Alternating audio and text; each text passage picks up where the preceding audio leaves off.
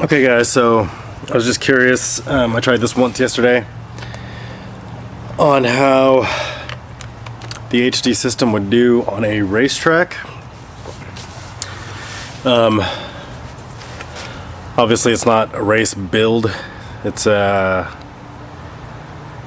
390 grams, so it's about 100 grams heavier than one of my Hawk 5s. Um, but that's not going to really matter in regards to like seeing if there's latency.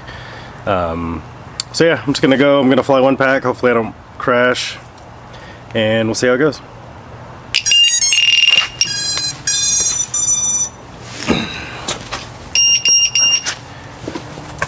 I know I normally try to narrate, but talking and racing or talking and doing laps is usually pretty difficult.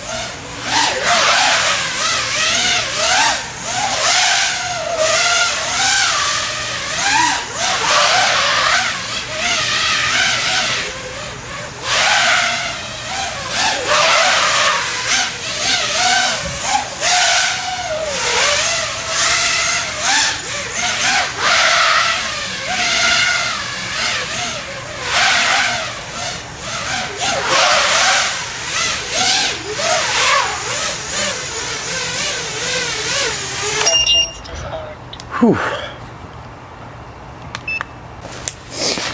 So yeah, just a couple of laps. Um, and, you know, I don't know if that looks fast to you or slow or whatever. Um, Telemetry lost. In my tiny backyard, that's about, it's about as fast as I've gotten. Obviously, I'm trying not to crash and damage someone else's property or whatever. Um, And obviously, you can probably tell, you can see the weight of the quad pulling it out wide, especially in the um, ladder, whatever, whatever you call those things. um, so yeah, I can I can feel the weight of the quad. You could probably notice the weight of the quad. Um, but as far as the control link to the relation of the FPV feed, I don't feel any latency. Not compared to one of my Hawk 5s racing back here and you know and again I am using crossfire but yeah and that that is on 25 milliwatt with the stock antennas. I mean again my yard's not very big but um, yeah I didn't feel any latency. We uh, like I said my buddy Davey has got an HD quad. And I think we might try to race him at some point. But for racing if you're concerned about latency I'd say that's a non-issue.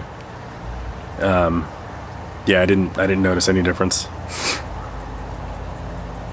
So yeah, thanks for watching guys.